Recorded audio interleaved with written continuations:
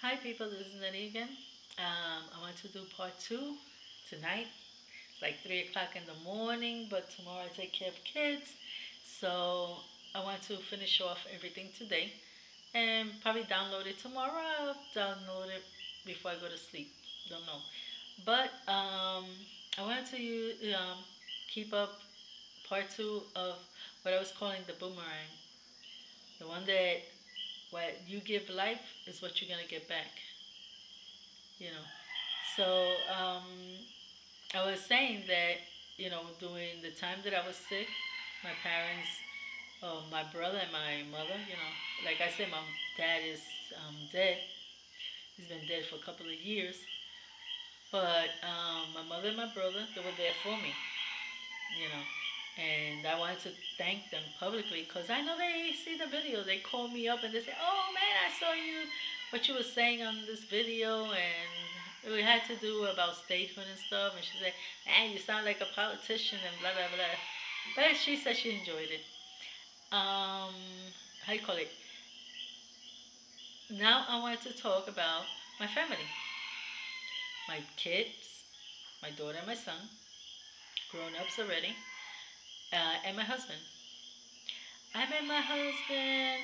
Ooh, he was 15 years old, and we were um, we I knew him like for seven, eight years, and then we became uh, for friends. We were friends, just plain friends. After eight years around there, we fell in love, and we spent two years um, as boyfriend two years. One year as a boyfriend, then as a fiance, one other year as a fiance, and then we got married. That's been 26 years ago. Start um, December 26. I'll be 26 years married with him. The only reason I had that kind of success is because I always thought that you know the husband you gotta respect. But doesn't mean that I respect and he don't. No, no, no, no, no he has to respect too. You know, it's a win-win. You know, I respect you, you respect me. You know, we could have disagree, but we don't have to curse at each other. We don't have to scream at each other. We don't have to humiliate. You know, none of that stuff.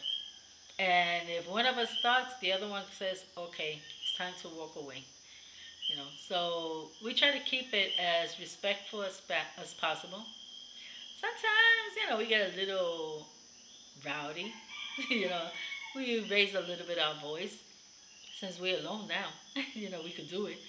But it's very rarely because we don't ever, ever go to sleep angry.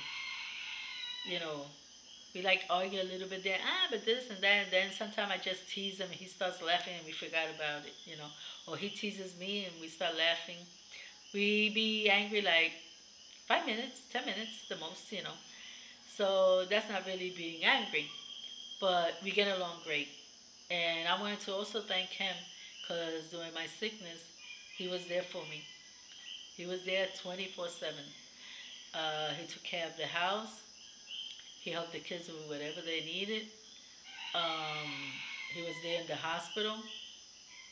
You know, he was riding me back and forth because, you know, my mother only could have stood so long. She couldn't stay for the rest, you know. She has a life over there and she has some, she had to go back. And she was worried, you know. But my husband handled it pretty good. I think he did pretty good. You know, my daughter used to come, you know, since my husband was working, my daughter used to come she would inject me, you know, because I had um, I had to use these antibiotic at home. So she used to inject my insulin because I it caused me to have diabetes. You know, during the time that I was sick. So she would come and inject me, put me the how you call it the the water thing, you know, the antibiotics, and you know she would help me out and my son also trying to keep me happy. He bought me this um, little fish because I was so depressed. And he took this little fish, he bought it, he says, Mom, when you get depressed, I'm going to put it right next to there. You know, just look at the fish, talk to it, and maybe it'll help out a little bit. His wife was, oh, she was, she is a doll. She's my other daughter. She helped out a lot. She was the one who was combing my hair so I could go to the doctor because I couldn't even raise my hand to comb my own hair. That's how weak I was. And I just wanted to thank my cousins, my uncle, my aunts, uh, all the people that called me, emailed me, all the friends that found out about it through Facebook or through the family. Want to thank you all. You are all good. This is what a boomerang is. When you treat a person good, you know you get you have them when you mostly need them. That's how it is. If you treat them bad, they're not gonna care about anything about you. So you know, let's try to be nice to people. It doesn't it doesn't cost you anything. Let's try to be nice. Let's try to be respectful. And let's try to be the example to the young kids because they really need example people. People that do example things, you know, like how to be like, thank you, excuse me. You don't hear that no hardly no more.